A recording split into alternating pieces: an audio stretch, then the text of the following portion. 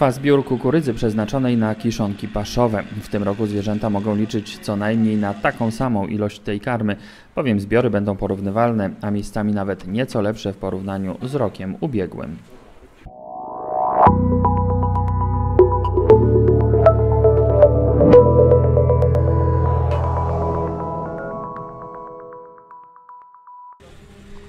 Największym problemem w tym roku dla plantatorów kukurydzy była pogoda. Wiosną należało umiejętnie wstrzelić się w moment zasiania kukurydzy. Sprawdzający się w ubiegłych latach siew na początku maja w tym sezonie nie dałby spodziewanych rezultatów. W tym roku przez, przez tą pogodę, która tak nie rozpieszczała nas, wysialiśmy kukurydzę dopiero po 10 maja, tak nawet z przerwami.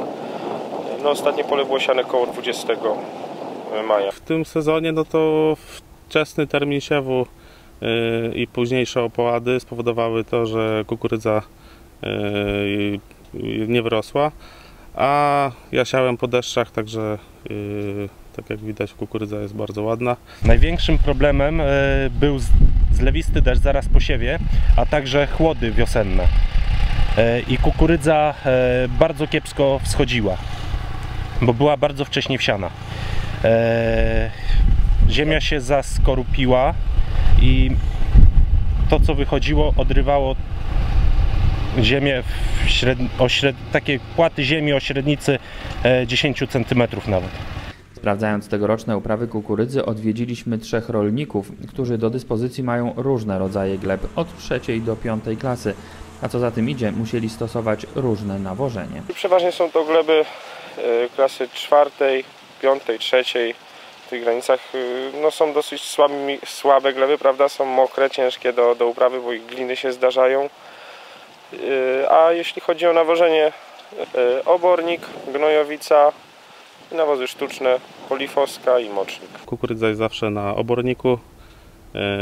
Do tego idzie nawóz wieloskładnikowy w ilości około 250-300 kg na hektar i nawóz azotowy 200 kg yy, pod korzeń. Potem ewentualnie, jeżeli warunki są sprzyjające, to yy, idzie jeszcze jedna dawka. Jeżeli jest upały, no to, to tej dawki nie stosujemy. Nawożenie to e, obornik i polifoska tytan e, z fosforowo-potasowych, e, a azotowe sz- szedł RSM e, z siarką dwukrotnie. E, Pierwszy raz e, przedwschodowo, e, a drugi raz w fazie sześciu liści wężami rozlewane.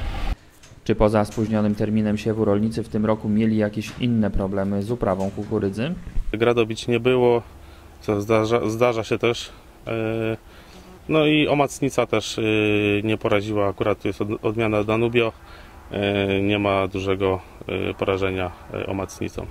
Jeśli chodzi o dziką zwierzynę w naszym gospodarstwie y, nie wystąpiły tak ogromne straty, jedynie na, na wiosnę tam zdarzyło się na, na dwóch polach wy, w paru miejscach wyryte, a to taka malutka ilość, że, że nawet tego nie poprawialiśmy, nie dosiewaliśmy, nie, nie ruszaliśmy tego.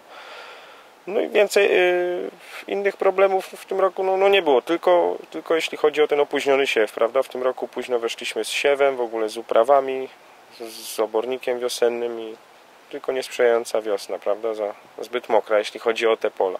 Dzika zwierzyna zaczyna się robić bardzo duży problem. Jest e, coraz więcej dzików. e, Na tym polu nigdy nie było dzików, teraz już są. Podchodzą nawet pod płot, pod zabudowania, nie boją się. No i kukurydza mogłaby jeszcze stać, ale musi być koszona. Jakich zatem możemy spodziewać się zbiorów? W tym roku, podług zeszłego roku, będzie około 15% więcej zebranej kukurydzy na kiszonkę. No, sprzyjała pogoda, prawda, późniejsza. Zaraz po, si- y, kiedy sieliśmy, było bardzo wilgotno, poszły ciepła, kukurydza szybko zaczęła wschodzić.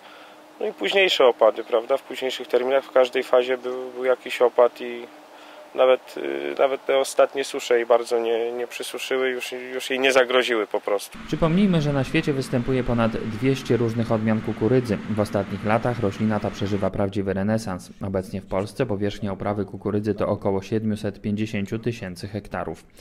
Kukurydza należy do najbardziej wydajnych roślin uprawnych. W dobrych warunkach można uzyskać od 60 do 70 ton zielonej masy z jednego hektara. Udana jednohektarowa plantacja kukurydzy daje możliwość wyprodukowania od 13 do 15 tysięcy litrów mleka przy niewielkich tylko ilościach uzupełniających pasz białkowych i mineralnych w żywieniu krów mlecznych. Sporządzona z kukurydzy kiszonka jest wartościową paszą objętościową, a koszt wyprodukowania jednej jednostki energetycznej należy do najniższych. Zachętą do uprawy kukurydzy jest również fakt, iż roślina ta nie ma specjalnych wymagań co do przedplonu i można ją uprawiać w monokulturze przez kilka lat, choć warto pamiętać, że kukurydza w płodozmianie, nawet uproszczonym, plonuje o około 20% wyżej. W normalnych warunkach pogodowych zbiór kukurydzy na kiszonkę z całych roślin powinno się przeprowadzać w fazie dojrzałości woskowej ziarna, gdy zawartość suchej masy wynosi od 30 do 35%. Z tego powodu zbioru kukurydzy powinno dokonywać się w momencie wykształcenia kolby i wypełnienia jej ziarnem. Kukurydza ma jednak dość duże wymagania pokarmowe i z tego tytułu zaliczana jest do roślin intensywnych, ponieważ pobiera znaczne ilości składników pokarmowych z gleby. Spośród wszystkich składników niezbędnych do prawidłowego rozwoju najsilniej reaguje na nawożenie azotem, zaś największe potrzeby wykazuje pod adresem potasu. Wielkość dawek nawozów mineralnych zależeć będzie w głównej mierze od zasobności gleby i zakładanego plonu. W większości wypadków przy średniej zasobności zalecane dawki to od 100 do 120 kg azotu na hektar, od 50 do 120 kg fosforu i od 110 do 200 kg potasu na 1 hektar.